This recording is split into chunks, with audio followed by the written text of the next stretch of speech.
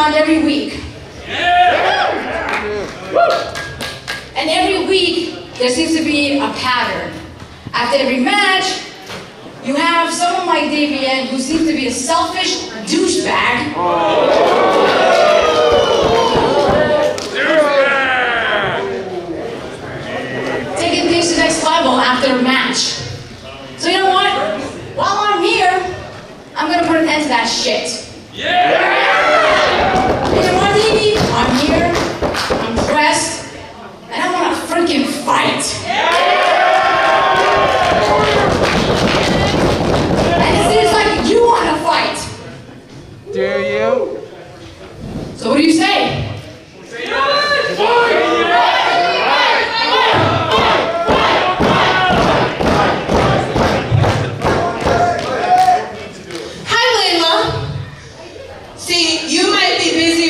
Uncharted Territory every week, uh, but I've been watching AEW Dynamite every week, and uh, your performances haven't been that great.